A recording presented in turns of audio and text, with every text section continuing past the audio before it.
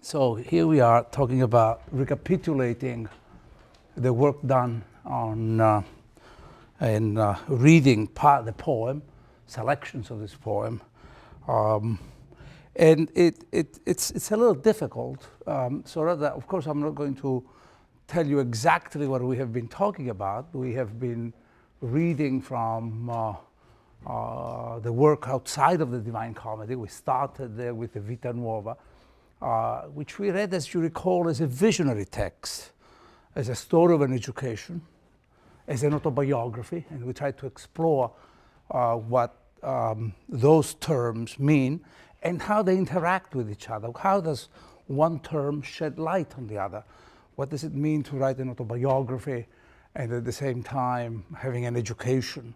The two converge, of course, in Dante's uh, imagination. Uh, you can only write an education, a story of your education, if you have a sense of what your whole life is about. If you have some, some pattern of coherence and intelligibility that you can impose on and extract from, respectively, uh, this, the sense of, uh, of your life. But above all, I was interested in, uh, in that, in that uh, partial, because it's, it's sort of inter, inter, it's truncated at the end as a sort of interruption, deliberate interruption, because it, uh, what kind of preparation it gives us, to what extent is it repeated, that adventure Dante narrates in the Vita Nuova, uh, kind of ad, an adumbration of the, the divine, the divine comedy. Uh, in many ways, the two texts really uh, are implicating each other in the sense that Dante finishes the, the Vita Nuova, stops writing the Vita Nuova. That's the uh, inconclusive, the unfinished quality of that text, so that he can go on writing the Divine Comedy, if you see what I'm saying the Vita Nuova ends with the statement of a project, of a project to come, which therefore will be in a certain way the fulfillment of what is uh, only hinted at in, uh, in, in, in the Vita Nuova. So the two texts are, are literally one is preparing for the other, the other one. But then this, the Divine Comedy turns out the way we were reading the Divine Comedy last time. Um, the Divine Comedy itself has a sort of inconclusive quality about it. Uh, Dante reaches uh, and, and, and, experiences the beatific vision, and yet his text um, succumbs to the enormity of the task of describing it. And there were a number of reasons why we said Dante does that. I mean, what seems to be and is a defeat at the level of the imagination turns out to be uh, a great triumph for Dante's own theology, right? Because it's in the measure in which that the poem ends in a kind of defeat, in a sort of the, with the admission of the impossibility for Dante, the poet's language, to contain and therefore reify, circumscribe that which he has seen, right? Uh, he's sort of uh, ending with this, uh, um, this, this question mark this, this uh, vision of our effigy, as he says, our own image, in, uh, that's all that is left in, uh, for him to recall, which really means that in the refusal to pinpoint, describe, and define the so-called beatific vision. Some people can be very disappointed. Why doesn't he tell us what he really saw? Because that would be the statement valid for him. He wants us, at the end of the poem, to adventure to take, to take our own journey and, and make our own discoveries about that which remains the essential point of the Divine Comedy, as is the essential point of all great texts of our tradition the encounter between the human and the divine.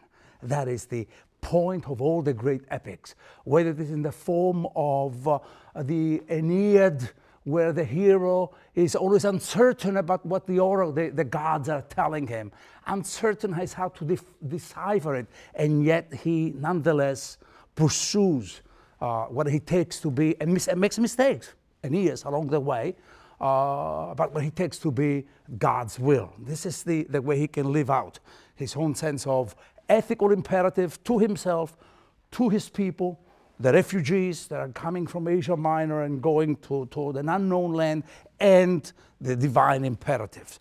Or whether it's going to be Renaissance texts from, from uh, uh, Spenser's Faerie Queene to Tasso's to Milton, all to Lucretius, who writes in a theological epic. The idea he wants to, to, to cure his readers, his, he has one reader in mind, a young Epicurean, and this is Lucretius, whom Dante had never read. He, he read in parts and was very fascinated by what he read.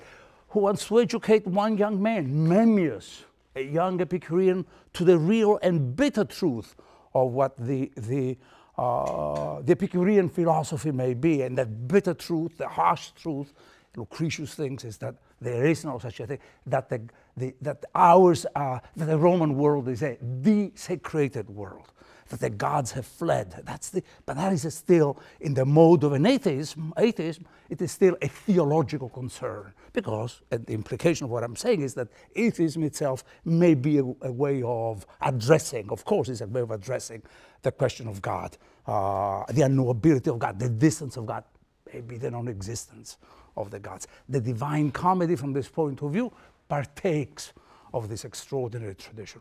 But he does it in a way which is remarkably different. Dante does his theology in a way which is remarkably different from anything else that has gone on before him and in many ways after him. So that, I think there is a mode of recapitulation. This is what I have to, I will have to uh, briefly illustrate and give you the chance to ask more questions specifically about the poem, but some of these things that I think have said, the whole poem moves toward this kind of theology, uh, condensed in Canto 33 of Paradise, recapitulated right there. Of course, Inferno goes on talking about issues of politics, which is not that they are easy, they are very complicated, but in some ways they're rooted in Dante's own theology. It's too easy to believe that, you know, this is politics, this is theology. They are always imbricated with one another. In fact, sometimes the best way to understand the theology is to talk about the politics. And the best way to, talk, to understand the politics is to really talk about the theology. They are completely, always implicating uh, each other. And Inferno talks about the ethics and the, and the politics. Purgatorio talks about aesthetics and ethics above all, the possibility of reconstructing the human, the uh, human beings. Uh, so flawed they seem to be, so incredibly sunk into the ditches of their own perversions, of our perversions.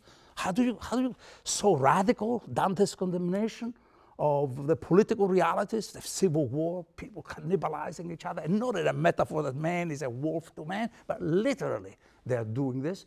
So how do you get out of it?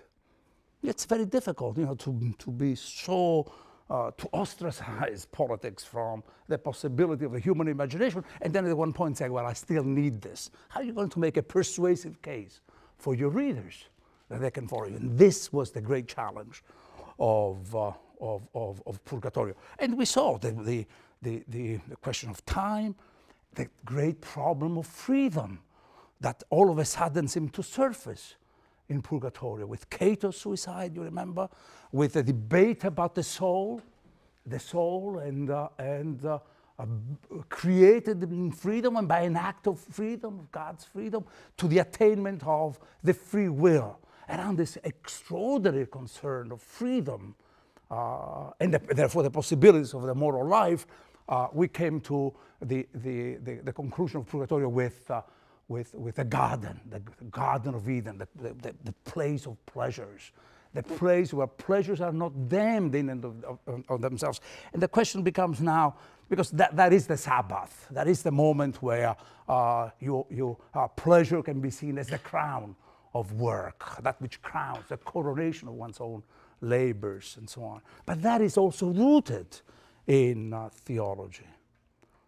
And then we ended up in paradise where we really talked directly, because I think that's really the substance of paradise, the possibility of thinking of an aesthetic theology, how art and theology go hand in hand, because what joins them is the question of, not just the question of the art being the temptation, ethical temptation, but now the question of beauty as the mode of revelation of the divine. And therefore, the implication was, and I hope I have said that very clearly, that art becomes a way to know God, a way to know the divine. So we are moving away from, from traditional assumptions about what is the path to go and encounter God. What is really the discovery of the sacred? Uh, is the sacred going to be found?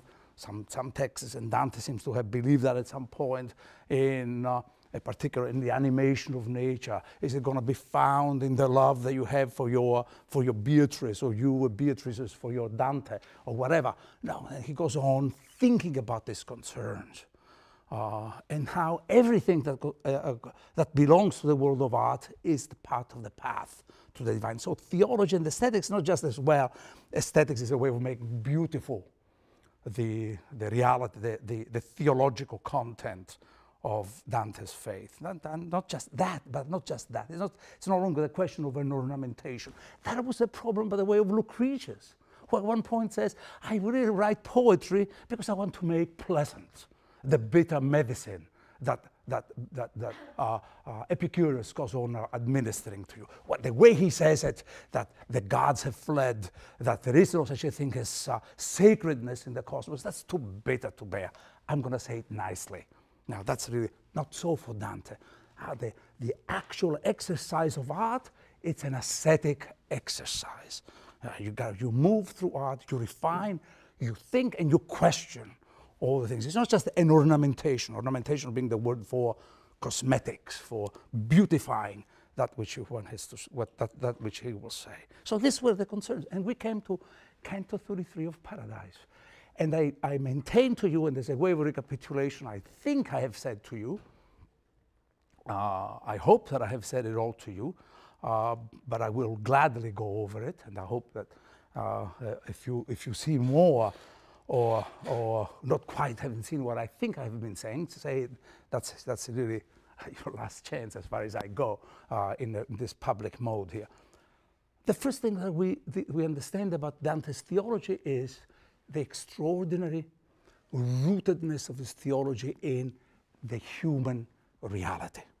The Canto 33 is the canto of the, a prayer, and we'll talk more about a prayer as a mode of theologizing. Why is it a special mode of theologizing? But the first thing is a prayer to the Virgin Mary. That is to say, a way of thinking about how the divine has entered the world of history and the human flesh. So there is not such a thing as an extraordinary. And I, I think, even talking about the cosmology of Dante, I try to hint, try to say, look, the physical world and the metaphysical world are all part of one universe. They are two separate hemispheres, and yet there is always a cross, there's a chiasmus that will connect them, but will make them, because that's the, the irony of every chiasmus. You know what I mean by chiasmus? It uh, comes from the letter, the Greek letter chi in Greek, right? That's a chiasmus, an X. And that when you have a, chiasmus, you have a point of intersection of the two arms, but that becomes also a point of flight. Things come together and can be seen to come together, but things also seem to be divergent, seem to be going away from each other. Okay, this is uh, the, the, cosmos of Dante is an extension of what he will say in the prayer to the Virgin, the, the, the, uh, the human rootedness of the divine, not dualities, okay? That's really a primary item. And this will conclude with the idea that with the, the and, and, makes it persuasive that what Dante sees and remembers at the end is our effigy, which is clearly is a throwback to Genesis. Let us make man in our image and, and, and likeness. That's what Dante will say. But this also means that we are in the world of images, that Dante's own journey ends in the world of images, but not in images as deceptive appearances only, that which he, we saw that uh, the whole of Purgatorio is full of, now has somehow the image, probably because of that hour, the shared quality of that image becomes the locus of the sacred itself, becomes not something that just hides, but also reveals the divine. The second thing that I think that we have learned to understand about this theology of Dante is freedom.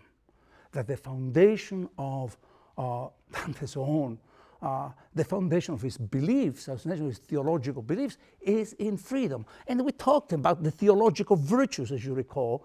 The theological virtues faith, hope, and charity, 24, 25, 26, with the various examinations that Dante go, goes on. And if you recall, we are talking about the fact that uh, uh, Dante thinks of faith uh, as an act of freedom. And that's not unusual for those who have any theological interest to, to even find uh, traces and, and, and implications of this kind of statement. Faith is for Dante uh, a way of knowing. He connects it with knowledge, which is not a, a, way, not just a way of saying that, you know, faith intervenes when knowledge stops, hereby stop, because someone who is interested in his curiosity of knowing, now I don't know, I'll try hard, maybe tomorrow I will know. I don't need any faith, right? If you really think about the relationship with knowledge and faith, you can't say faith emerges at the boundary line of knowledge because that boundary line is always shifting.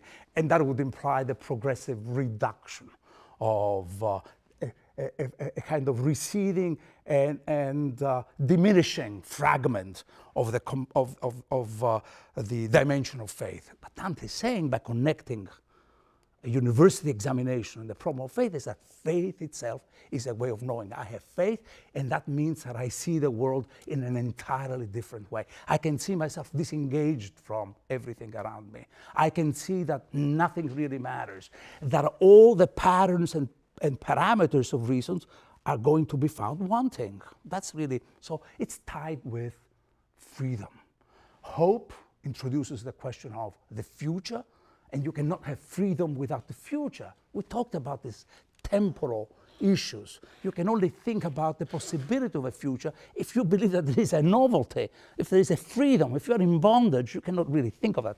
But philologically, because I don't want to confuse you at all, you remember that all the three cantos were literally woven with references to Exodus.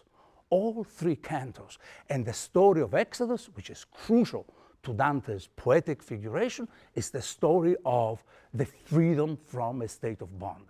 So this is the way we understand freedom. But Dante also knows that freedom can, you only have to shift. You know, this is, this is Luther, of course, that freedom and faith are one and the same thing. In this attack, you remember that I mentioned this to you, it doesn't concern Dante, but concerns the issue. And so I will mention it for clarity they debate, the two of them, Luther and Erasmus, over the idea of what freedom of the will means.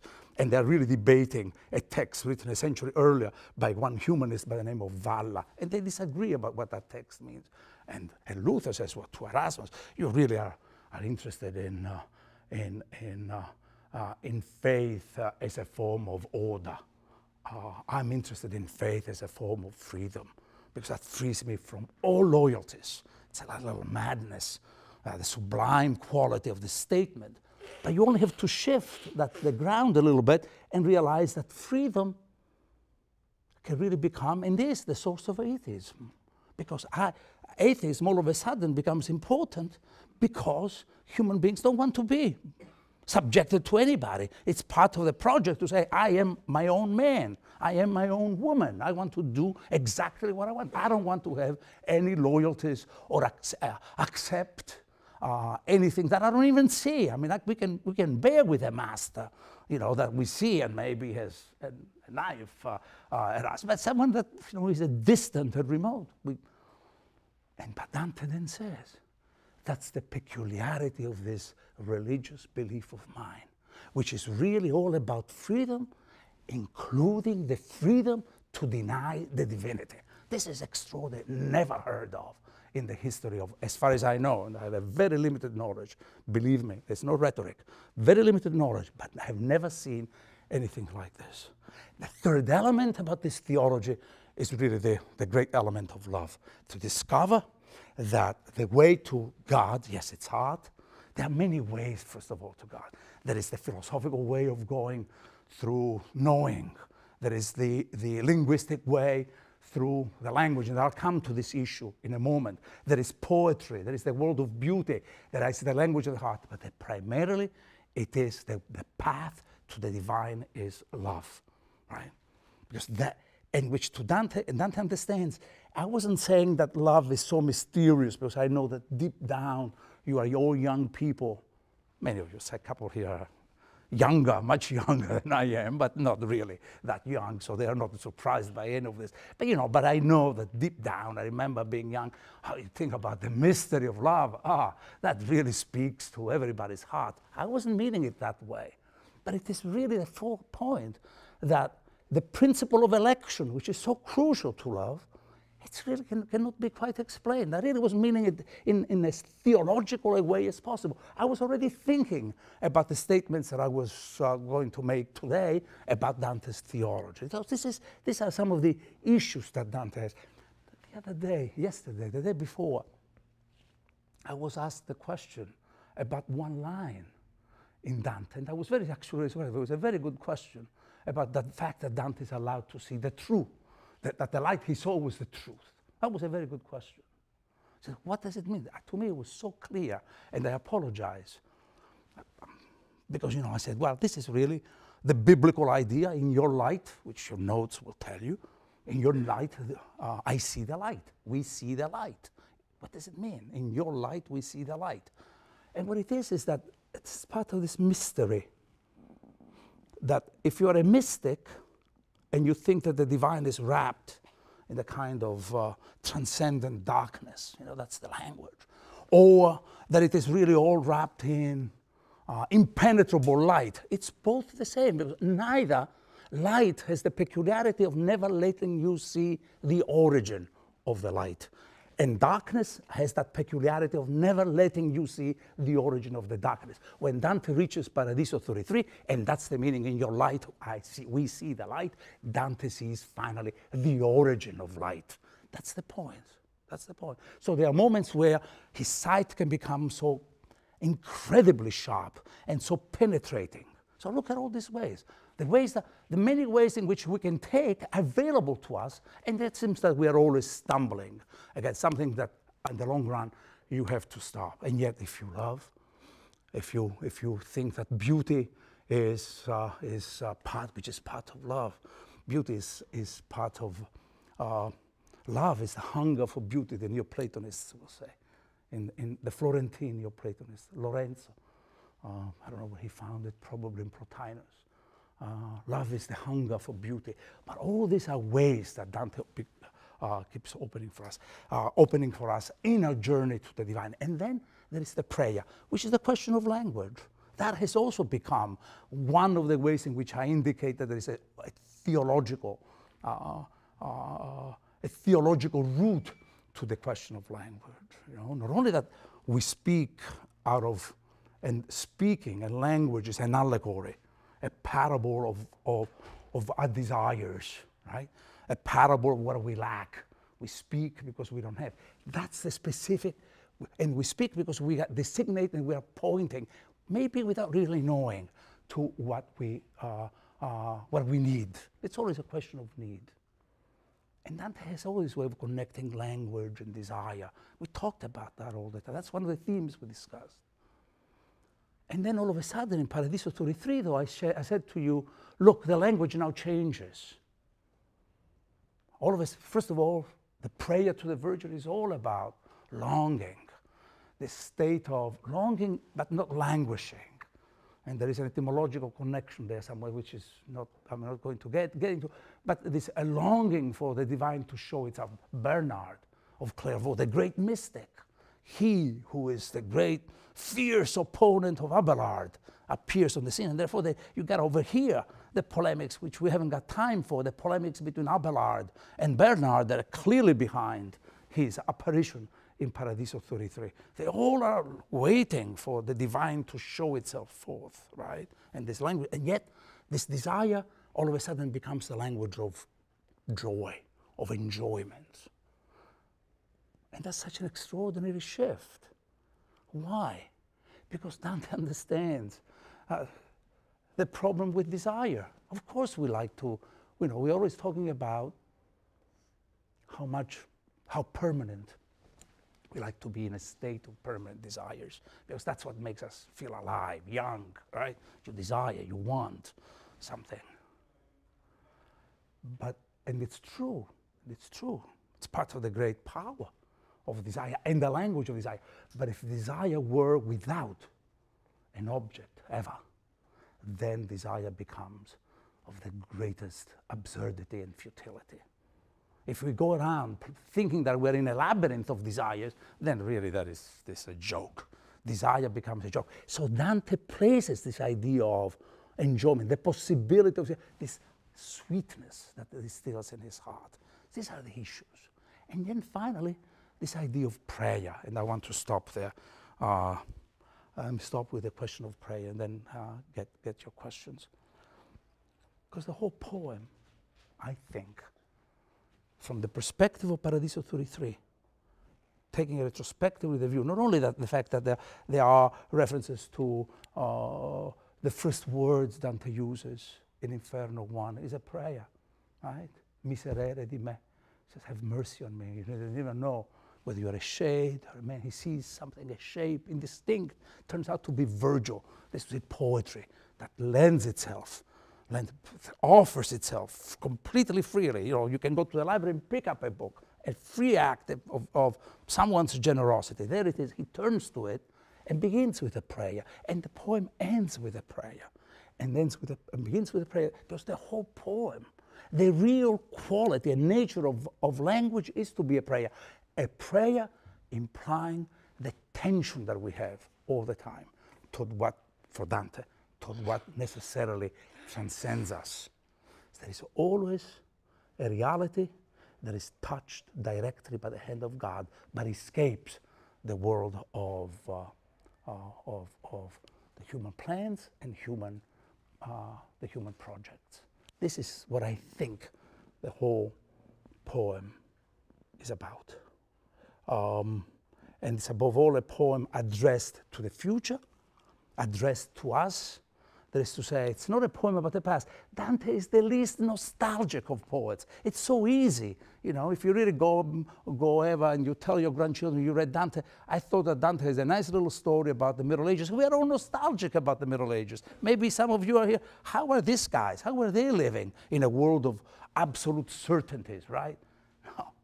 Dante is the poet of openness, the poet who understands reason and, and understands, understands uh, the, the uh, risk. Now, that's really what, it, what, what, what this poem is about. The poem about the future, the poem addressed with a number of apostrophes to readers. And whenever you read apostrophe to readers, from the beginning of Inferno to roughly Paradiso 10, every so often, Dante addresses us. You remember then I said, at one point he stops.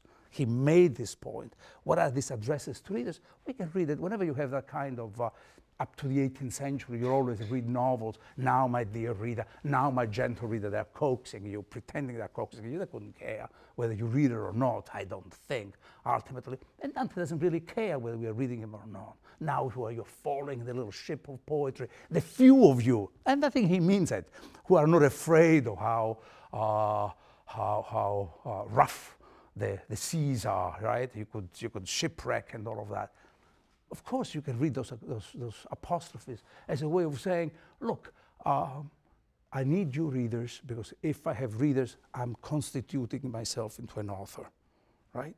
Because in the measure in which there are readers, then I am the author. I am I'm an author because I have I managed because the poem has made me into an author. Of course there is that. But what I think this is about is you are going to use my poem as the boat with which you can start your own journey. That's the understanding of the future. The poet, Dante, is a poet of the future, which is a way of saying, and there is a little bit of irony as I say this, uh, that Dante is not the poet of the past, he's the poet toward which we are going. The Middle Ages may not be a time of the past, may be the Middle Ages in a different form. Will certainly will come back, will probably come back in the future. This is what Dante clearly thinks. So let's go now with your questions. I hope you have many, and uh, not many, I mean, few, so that we can talk a little bit about this. Yes, uh, whoever wants to, uh, you came in late, so I must say, uh, I must repeat this. You have to sign, and there is that beautiful young woman right there, Maria de Lipanska. Oh, that adjective, you forgive me, but it's true, but also. Uh, and uh, the other thing is, uh, you have to talk very closely to a microphone. All right. Okay.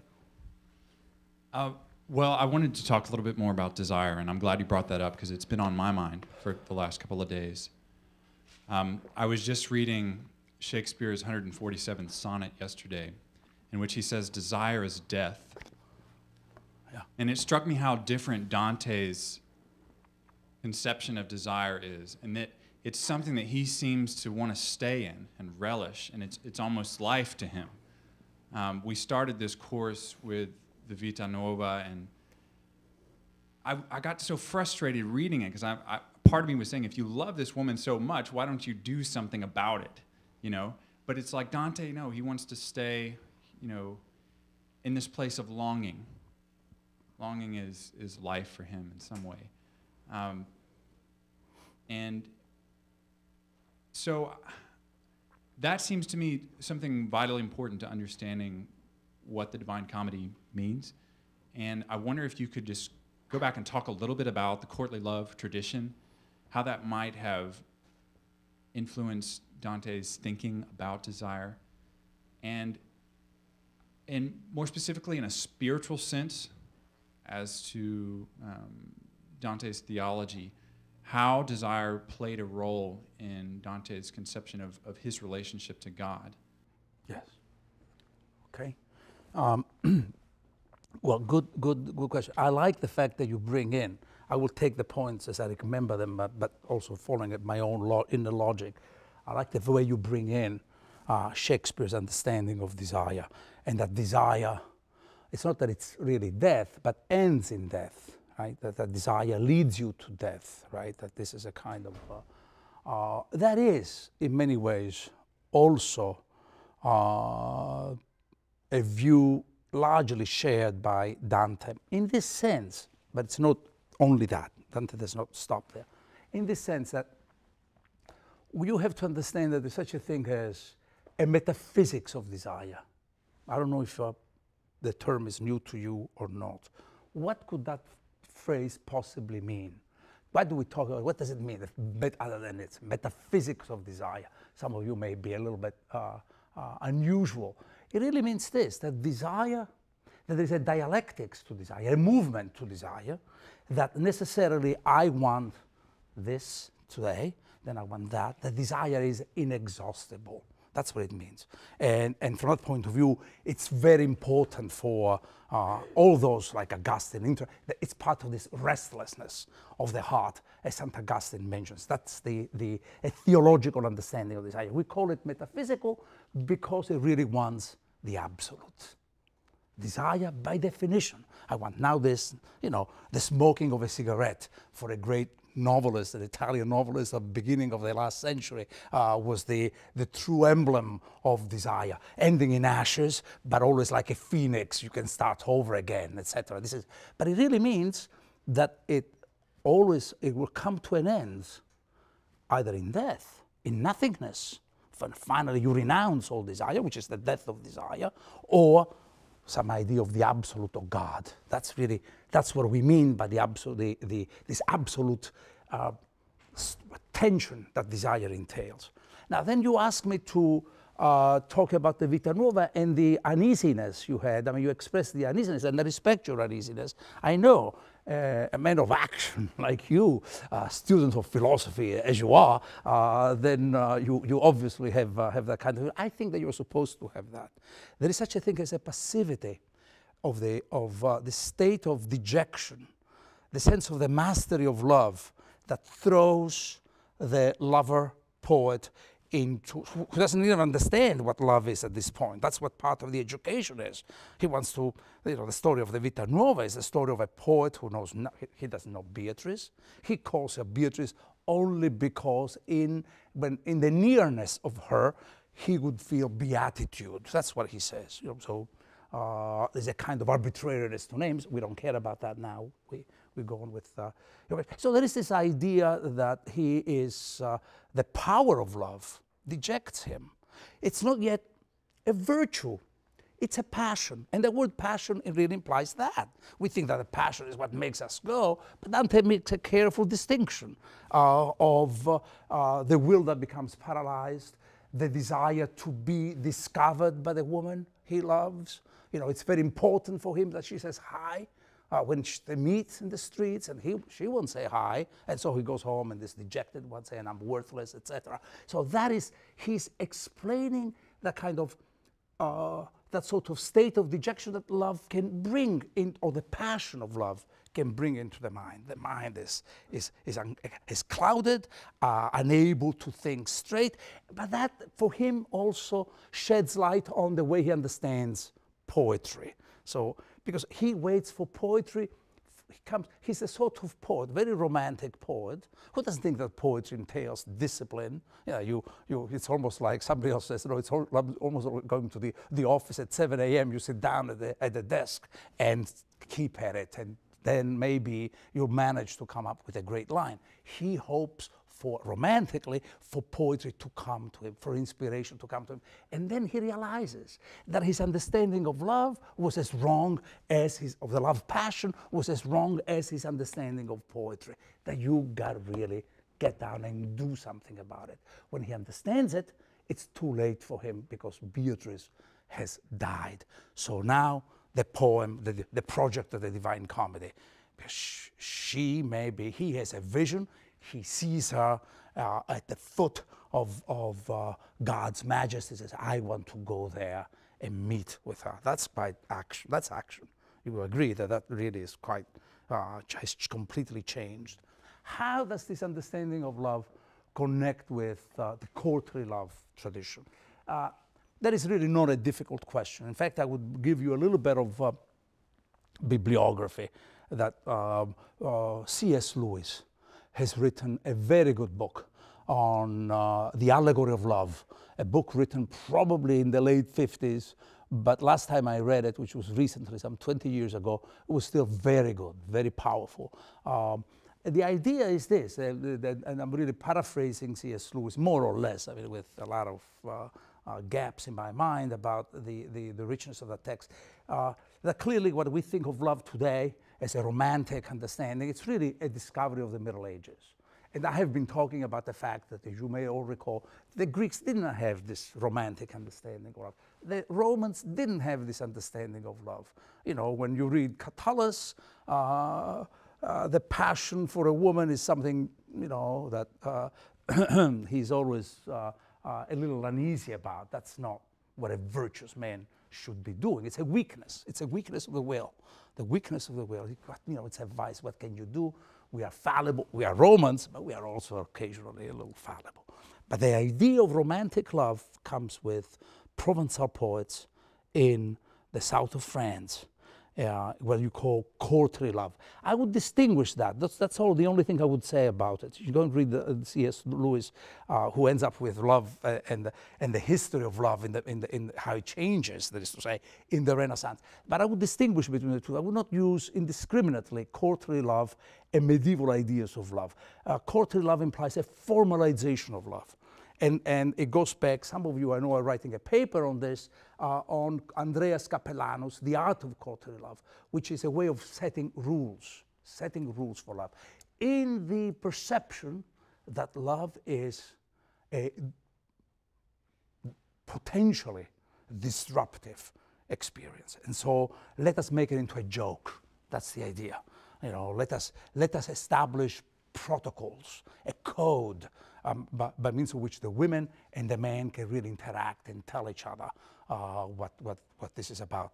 Uh, don't hope marriage because that's a serious business concerning property and wealth and status. So within the fairly uh, closed boundaries of the courtly love tradition, then you can go on making certain assumptions about yourself, about you can play or about uh, the, the, the um, the greatness of women, the secret of love. You know, there's a, there's a, a, a certain code. Okay, um, in the other forms of uh, uh, courtly love, the or the sweet new style, the way it develops. Another book that I could mention to you is Valency, V-A-L-E-N-C-Y, uh, which is uh, uh, love something. I can't remember the title. Maurice Valency uh, he also discusses the shifts between Provençal understanding of love and the sweet new style uh, articulated by Dante and his coterie of, uh, of poets. Okay, that makes it, I hope, clear.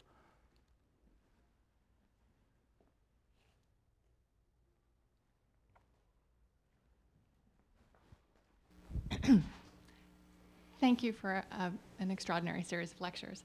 I was curious about the ending, and I wondered if you could comment on Dante's views about the papacy. I thought his choice of Bernard de Clairvaux was very curious. Um, and throughout the uh, Divine Comedy, he previously was grumbling about uh, papal, papal intervention over temporal powers. So I wondered if you could comment on that conclusion. Hmm. Yeah, very good. Good, good, good question. Um, of course, I, I, didn't talk about it. And I think that what you're really referring to, I, I don't know, uh, but I think what you're referring to is the fact that uh, Bernard of Clairvaux uh, wrote a great book called Considera On Consideration, which seems to be about contemplative life. You know, he is uh, the great reformer of the Benedictine movement, monastic movement in, uh, in, in France, and the, the so-called Cistercian monasteries, which became uh, the centers of culture, where they would copy, they would do poetry, they would write music, uh, they would sing. I mean, the, the, the arts, the way we know them, really uh, originated with him. But he wrote this text on consideration, which actually, in spite of the title, because you know that you know what consideration is a step before you come to contemplation. You know, there are a number reflection, consideration, and then contemplation. He, he chooses to write on, on, uh, on consideration. He dedicates the book to this treatise to Pope Eugene IV, who had been his disciple. He had been a Benedict with a Frenchman who had been a Benedictine monk with him. And, it's, it's, and, and this is probably one reason why Dante chooses Bernard. Bernard, the contemplative monk, the reformer, all of paradise is populated with founders and great reformers, founders of orders, or Justinian and the law, etc., right? Francis, Benedict, Dominic, Bernard, etc. So, uh, in spite of the fact that he's a contemplative, Bernard did not hesitate to write a text for the spiritual edification of his ex uh, disciple, Eugene IV, who is now a pope, and he's aware how the office of the shepherd of the church can distract him from the loftier spiritual aims and the, the, longings. So it's really a sequence of arguments about what you should, how should you administer your time so that you are never really going to lose sight of what your, uh, your uh, true aim is, heaven. Um, Dante mentions this text, by the way, in a letter that so many people, not I, go on uh, uh, challenging the authority of, you know, the, the, letter to Cangrande that maybe I have, no, not with you, with my graduate students, we have gone over. Uh, but to me, that is actually the indication, the fact that he refers to, uh, to, the, to the treatise by Bernard, that the authority of, he is the author of that letter. Now, you see clearly another way in which I can understand your question is that you see some kind of divergence, some sort of break. On the one hand, this kind of invective, the mode of the invective in Dante when talking about Peter, St. Peter, in Paradiso 27. I mean, he, he doesn't spare, he looks back after the examination on, on, on, on faith, he looks back and he starts attacking what he takes to be the usurpation of my place, my place. Remember that, that incredibly uh, uh, moral voice that rises right, right at the very end. And that, but you seem to be worried about the fact that Dante seems to be so moral and, and when it comes about the popes and then becomes mystical all of a sudden. Is that really one of your concerns? Uh, it could be, it could become one of your concerns in asking this question about, at the end of Paradise 33, he talks, talks about uh, Bernard, such a mystic, and yet all over he's been talking about the papacy.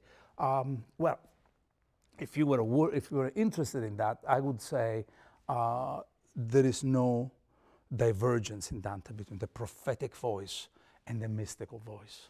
That is something even even those who read the Bible will go and say, well, the prophets were visionaries. In a way, it's true, but in a way, it's not true. The prophets were not visionaries. The prophets were readers of history. They don't need to have Daniel gave an interpretation. Uh, Ezekiel has visions, but Isaiah doesn't have vision. So it's see what I'm saying. Uh, the, there is no clear-cut distinction between the prophetic and the mystical. Certainly not in Dante. The two belong together. Okay. So that's, I don't know that I'm answering your concerns, but I, I, I overheard a number of, let's say, rumblings in your question. Uh, I'm trying to take care of. Is it a reconciliation with the papacy? No, no, no, not in the sense, no, uh, that to talk about, uh, even Bernard is someone who understands how uh, waylaying the, the, the, the office can be. And he was obviously writing because he must be aware of what has been happening and what was likely to happen. You, know, you don't have to, to become a, a, chronicler and a historian to do that. You, you can imagine, you know, this can happen. Uh, no, there is not that. It's not, I think that Dante's judgment about history is always very clear till the very end. Very clear. Um, history needs a reform. And of course, he would say, because he's one who believes in the sacramentality and presence of the self, how the self is crucial. Before I start talking about that the world needs reforming, let me just begin here. Uh, that would be uh, uh, an, an obvious way to say it. So I call it the language of presence in him, the sense that I am present to my own self and therefore I have responsibilities toward my own self before I, beca I became, I start using the megaphone saying, uh, let's reform the, the, the, the, the world. That probably, if it were ever to come, and Dante is not a utopian thinker, it would come only because so many people of goodwill, uh, men and women of goodwill, his saints, his uh, blessed, uh, the blessed souls that he meets are willing to do something about that. No, no reconciliation, not a sense of finally things will be coming together. I don't think. Actually, I hold on to that, yeah.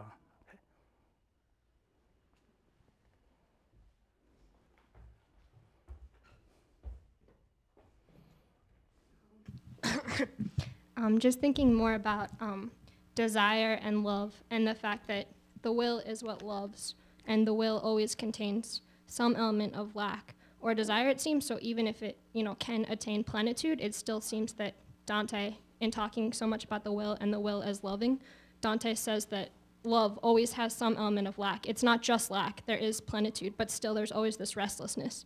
And so the love at the end, where there is plenitude, it seems to be a completely like transformed understanding of love that it's not possible to go to return from you know, in the beatific vision, if you have this plenitude, you know, is it possible to go back? Because it does seem like it's a completely transformed understanding of love when you have just the plenitude and not lack anymore. So with that in mind, um, does is Dante ever able to attain this love? Because this love that does have plenitude seems like it should end in silence with no language, and Dante does go back and speak, and he does. Um, he he is still he is a pilgrim and a poet. And so, does he really ever move from the images to the essences? And is the uncertainty at the end not just because we have to go on the journey ourselves, but because he is still on the journey? Yeah. Uh, well, the um, I, know you are you are really voicing a very delicate issue in the poem. It's a very controversial issue um, uh, because that imp also implies the status of the poem. You understand what I'm saying? In other words, if you really think that Dante has seen, has had the beatific vision, and he has, and now he's writing the poem to tell us about it, then you're really saying that the poem itself belongs to a higher level of experience because it's written by someone who is in full possession of grace. That's your point, right? That's a, that's a very delicate point because I have not been teaching Dante that way, right? I have not. Were I to say this at the moment of recapitulation, uh, I probably would uh, have wasted your time all along. Uh, one little detail that I want to bring you to your attention, and then I will go to the more general problem. When Dante meets Beatrice in Purgatorio 31, this is getting really to be a recapitulation. We're talking about everything in the poem now. He meets Beatrice in Purgatorio 30 and then in 31. In Purgatorio 31, Beatrice forces Dante to go into a confession. You have to go on into an admission of who you are, and it has to be public. Cannot say, well, you, I know you know, but you have to be duly ashamed. because only that way you can transcend whatever it is that you have uh, within you. Dante uh, reluctantly will agree to do that. And then Beatrice will say, I want you to go through this so that another time, the future tense, when you will see, we'll meet the siren, I want you to be stronger. And this to me implies, that's one of the many. Uh, Dante sees uh, Casella, another aesthetic temptation. One doesn't have to have the temptation to kill someone, you know, to, to really feel that one is out of, has fallen out of grace. But this is, he meets Casella and he remembers how sweet was that, that song he heard from Casella. And that sweetness still resounds within me. Now, Dante is writing, is talking as a poet. He meets Ulysses. I grieve then and I grieve now. I, so there's a way in which states within the pilgrim do not really uh, go on changing. They are, they are the same, implying that there is some kind of continuity between pilgrimage and poetry writing. And to me, the writing of poetry is an extension of the pilgrimage. Dante, though, goes on saying, I have had the beatific vision. I am now, I know what enjoyment means, not just desire. But I'm coming back to the earth. And therefore, I cannot come back to the earth as anything less than a human being with one project the project to write a poem because I want to retrieve that joy and because I want to share that joy. So I have done two things in my answer to you. One talking about the question of the pilgrim's experience and the relationship of the, the pilgrim's experience to the writing of the poem. But I have also said that the poem stands as a sign for us, you know, a hermeneutical moment He Dante means it for us so that we can, and his journey continues. Okay? That's my answer. Uh, you don't have to agree with it because there are, I, I know there, is, there, is, uh, there are other people. I have been fighting those people for a long time in my life. I don't want to go back to those fights. But I think that this is uh, my way of looking at it, okay? I can give you more bibliography. I would rather not actually tell you the truth. I don't want to tell you about those people who are writing the other way. No. I, I have written about them though in my, my books. So.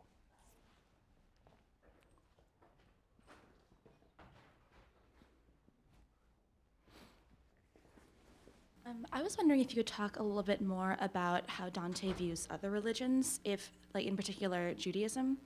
Um, and if it sort of falls underneath his idea of religion as freedom, and that if you have the freedom to become an atheist, you also have the freedom to choose a different religion.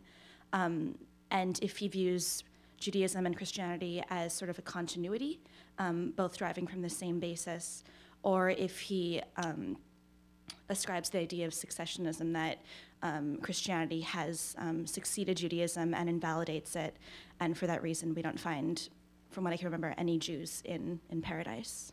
Oh, yes, you do. You do? Okay, then that's, yes, that's my fault. Well, well, I have to, to correct you immediately because then maybe you rephrase, stay there, there, because you probably will rephrase the question. When uh, uh, uh, Dante goes on listing the, in, the, in, the, in, the, in the mystical rose, we even are told that Beatrice sits next to Rachel. Uh, she's she's a way of elevating her. And then he goes on describing all the other.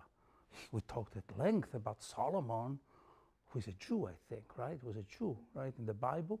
Um, we, we went on talking about uh, Nathan.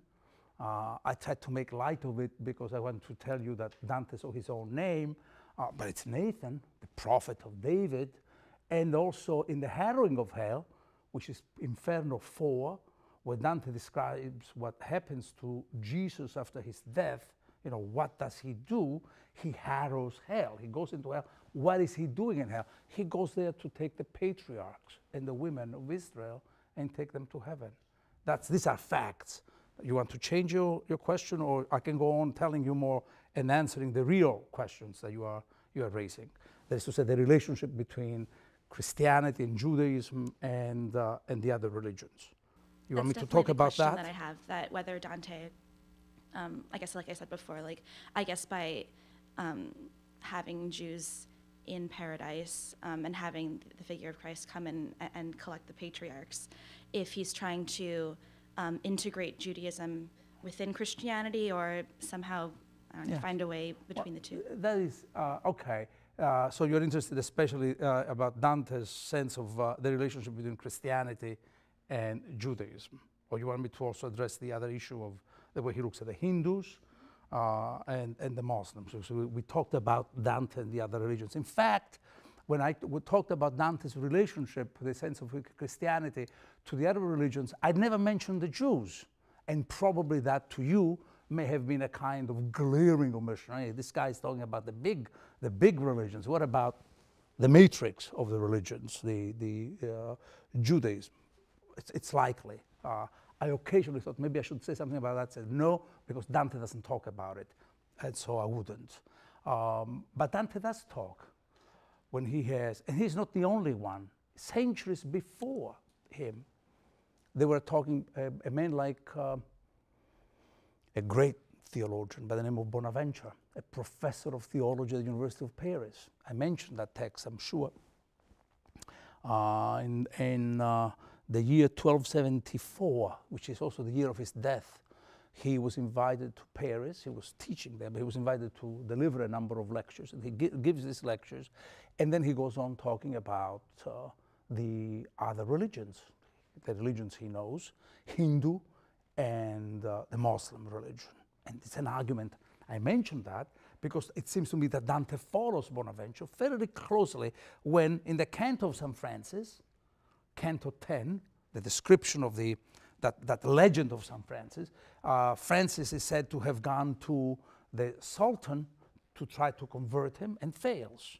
And then Dante also talks of uh, uh, the, the Hindus with, the, uh, with the references to the, the Ganges. When talking about justice, Dante is talking about Europe, but in between, he alludes to the, per- he talks about the Persians and the Hindu, the guy from the Hind who is born on the river uh, Hindus, he says, the river of the Hindus. Um, so, what is their conception there? The critique, that they are talking as Christians, and they're talking from the point of view of Christianity. And the position that Bonaventure will have, and Dante, I think, follows him, uh, is the following: How does it? How can be? Can they be distinguished? What do they share? They talk about what they share. What do they have in common?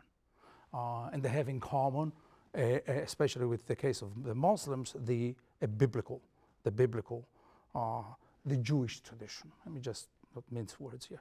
The Jewish tradition. That's really the, the, the common matrix for him. Um, he also notices differences. That, for instance, the theology of the Hindus is one that presumes the diffusiveness of God into all things. Okay?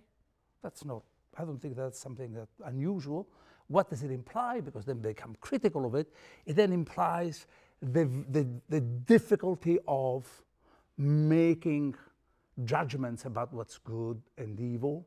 You know, if God is everywhere, you have to the sacrality of all things, which is a great idea, and yet you know there are some aspects of reality where you don't like to think that they are all alike. There is a way in which this is pantheism, and and and can become uh, uh, therefore uh, can become can be critiqued as the lack of distinctions and hierarchies and ordering when they come to the Muslims, since the Muslim religion is one that talks about the absolute uh, impenetrability of uh, the human mind, cannot ever hope to understand the divine. We are here at the mercy of God, and we live only by the mercy of God.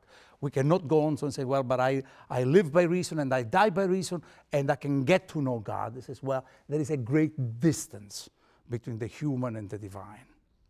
So that's the critique. If this is true, then we have nothing to, then it's an absolute transcendence. And he sees Christianity as that which literally mediates between the two. Because there is a transcendence, an absolute transcendence of God, the way the Muslims understand it, but there is also a possibility of a mediation, not total mediation the way the Hindus understand it, but the mediation of the cross. the mediation of the incarnation. This is the way Dante takes the other religions. When it comes to the pagan religion, because they are the pagan religions, for instance, and, and Dante there follows very much um, the, the pagan religions, the religion of the Greeks, the religion of the Romans. And Dante follows very much uh, St. Augustine, who is the one who talks at length about, about this issue. Uh, and, and, and that's the ambiguity. There are uh, adumbrations of the divine, but at the same time, they be can become also blasphemous idols of the infernal powers. So there is this way of really the smashing, if you wish, of the idols. When it comes to Judaism, which is really the, the, the question that, that, uh, with which you started, actually, I think that Dante is, uh, uh, I talked about that. I shouldn't say that I didn't talk about it. Um, you may recall that I made a point uh, in, uh, at the beginning of uh, the readings of the poem. Maybe, you know, was not very, didn't, see, didn't seem to be very important. It was important to me. Uh, I, I made an, uh, I, I sort of went on talking a little bit at length about the question of birth. You remember how there are some characters, representations of all characters, and, and Dante continues. I could have said the same thing in the prayer to the Virgin virgin mother, daughter of your son. Two birds, two birds in one stone, in half, half a line, as it were, right? Daughter of your son. Dante focuses on, the, on birth. And I did say, I went on talking, since Dante talks like this about Virgil, then talks about the birth of uh, Francesca, Ciacco in Canto 6, uh, Farinata in Canto 10, endlessly talks about this whole issue. Uh, and then I went on talking about this, this concern with birth is uh, specifically Roman, I said. This is really a Roman insight into the importance. It's really what distinguishes uh, uh, uh, the, the, the, Greek tragic understanding of birth. You know, children can really become a curse in, in uh, when you read the, uh, the Thebaid, for instance, when you read the story of Oedipus, uh, which Statius, being half Greek, sort of incorporates. But then I added, after saying that this is a Roman concern, because it's the whole, it's tied to the notion of foundation, the Roman idea that you can start things over and over again with the foundations of cities, and the birth being the way in which nature becomes historical, and therefore I potentially, like all of you, potentially can change everything around you. It's not true. As someone at a round table the other night in my department was saying that you have no experience, there are no events. Of course, there are experiences and events. Every birth is an event. That's Dante's understanding because it can change history, it can change the future. After making this statement that that's a Roman idea, and for Dante that's crucial because he is a Roman and he thinks of himself as a Roman, Florence is the daughter of Rome, then I added that this is also a Jewish idea of creation. That that's really what we have, mainly the, the great invention that we have in the Bible, that the world was created. And that Dante is connecting two ideas, a Roman and a Jewish idea, which are miraculously convergent. Is this an act of usurpation? Uh, because that's really the, the, the, what I read in your question. Is that an appropriation? Uh, culture. I think that that's really what uh, you do. But you can say that about the Bible. You read.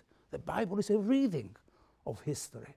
Uh, over 800 years of its composition, it's a reading of events around them and the culture and values. And that's exactly what Dante does. So, uh, how does he look at? Uh, uh, he thinks that the, the Jews are, I guess, he's really saying they are not Christians, but they believe in a Christ to come and that will save them. This really means that there is a, a, an acknowledgement of the dignity and, and, and, uh, uh, and certainly originality of that vision. I answered clearly. Okay, you may agree, you may not agree, but it's clear. Uh, we agree about that.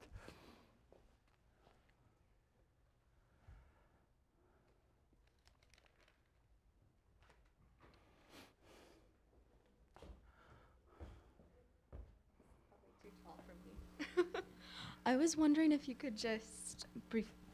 You. up here. You are much taller than any any microphone in the universe. Oh, thank you.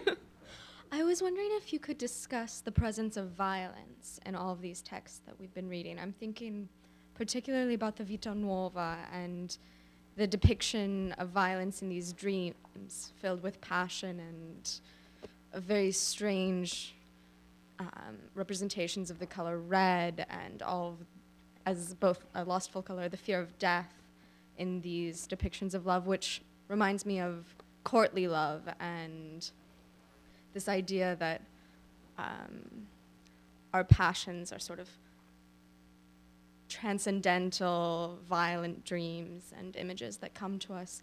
But so that's one question of one part. But the other is the presence of violence and violent imagery in Paradiso. I'm thinking particularly about Marsyas at the beginning in Canto 1. Also, um, the implied moral violation of Piccarda, and these continuous images that remind us of human violence and passions violence. And I wonder how they fit in with the final vision of, Yeah. of beatitude and human love. Yeah, that's, uh, that, that, that brings us right back to the, the, the relationship between the historical and, uh, and the sacred, really. So that violence is uh, um, a parody almost of the sacred, and in many ways, the alibi for the sacred, because the sacred is, is to be understood as that which tries to redeem the violence. And Dante, you're absolutely right, never flinches from uh, uh, the understanding that the, the world of, of history is an economy of, of, of this ongoing, ongoing violence. It's, it's true. Um, he, uh, he even addresses, you're right, the, the, the human beings, uh, the Cato, who kills himself, uh, hoping that with his death he can bring an end to the civil war in Rome between Caesar and Pompey. Um, but then the violence that someone like Piccarda, you absolutely, uh, how love engenders violence. The incredible thing is that you have perversions. It's not just you know that I I, I kill because I want to steal someone's uh, shoes, you know. Uh, but then there is a way in which I think I'm engaged uh, a more tragic understanding of violence because it's sort of it's so mediated and so disguised as love, right? I can love Paolo and Francesca, and yet that engenders a lot of uh, uh, a lot of violence. Uh, and Dante has, has gone through all the phases for this this sort of thinking. Uh, that of thinking that maybe that's really what history is about. It's all about violence, and that any effort at redemption Christ's redemption of violence. That's really what uh, the whole story of, of, of uh, Christian salvation is about. Dante mentions that. This is not uh, kind of an opinion. Dante will mention it in, in Inferno 33. You remember? With uh, the story of uh, Ugolino. Uh, in the background of that scene, of that, that famous cannibalizing, there is the story of the children uh, have been have been killed to his children, um, and you know, and that's always the, the death of the innocent. It's really the beginning. You know, what happens to the children? We, we can go on arguing, but what about this, these kids who have no response, who are innocent, as Dante says? And then you overhear in the background, and I think that Dante wants us to overhear the experience of, uh, of, of the cross that was meant to redeem of violence, and that didn't seem to work. So there's a way in which he thinks that violence has even to the notion and to the God of violence, even the redemption succumbs to that vision. The, the idea of redemption loses in connection with uh, and in relation to violence. So that, that would be the way we can, uh, we can come to, uh, to, to understand it. And there are a number of other extensions. Even when we read, Dante will say, when we read, it seems to be such an innocuous, bland operation that we're en- engaged in, right, in the, in, the, in the quiet of our studies, etc., then we are still violating the integrity of a text. We still extract, we still break up that unity. We isolate a passage. We make part of what we want what he wanted to signify. Hermeneutics is linked, interpretation is linked to experience of violence. What gives? Okay, so we agree there. That was your question. How does Dante get beyond that and, and somehow manage to arrive to a beatific vision? I think that what Dante is doing is denouncing all forms of violence, confessing to them, admitting them, dramatizing them. It doesn't mean that he's espousing them or he shares them. Okay? The whole point of the Divine Comedy is to acknowledge that it lodge, it, violence, lodges even in him and within him, but he wants to move beyond it. And that's the ascetic aspect of his text. Ascetic in the sense that he's literally climbing up the ladder of uh, transcending that which is holding him back. Uh, and I don't think that, you know, if you're looking for a way that does then he, does he get away from it? Because that's really the, the, the, the, the other question. Does he ever get away? Not in the measure in which he's human and wants to remain human, open to these temptations all the time. Okay.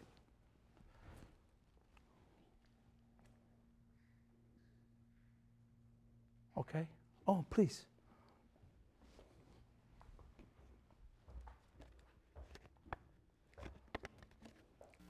as a pilgrim who has become a senior citizen, I have had a question throughout the entire course. And having read Auerbach and Thomas Bergin and Mary Reynolds and others, the question has not been answered for me, and I'm not sure you can either. Uh, the, the, question is, you know, who, who is Dante?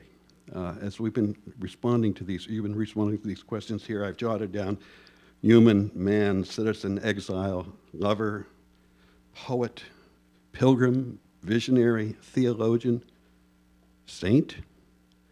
Uh, Paul and Teresa of Avila, John of the Cross, Bernard of Clairvaux had their visions and they became saints. Is this man a saint? Uh, well,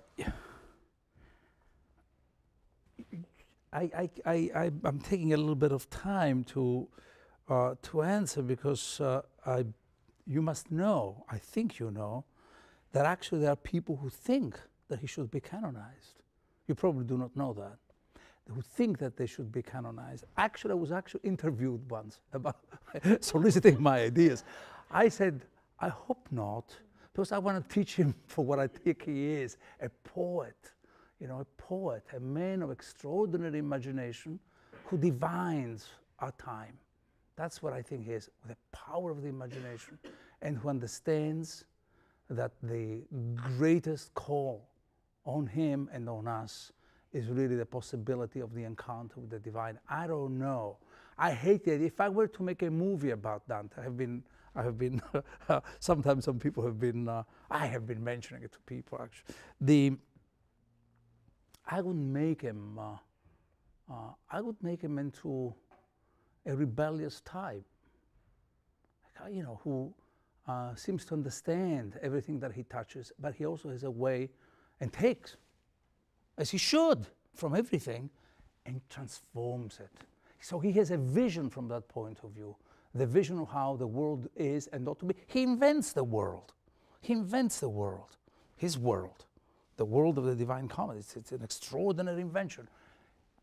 But a saint, I don't know what these other guys have done exactly to make them deserving of sainthood. Uh, but maybe I'll leave it there. I don't know. I don't know. Thank you. I think it's time. Thank you so much for your great questions. Thanks.